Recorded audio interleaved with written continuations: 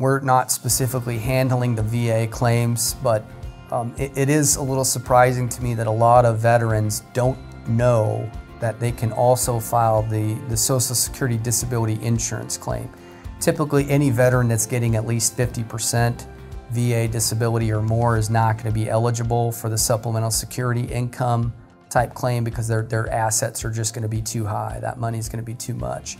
But they, they, they would qualify for the disability insurance, and the, and the key indicator, the key thing is getting that claim filed um, as soon as possible because a lot of times people are out of the service for a while, they don't really think about it, and then it, it gets more difficult over time to reach further back to get those claims approved.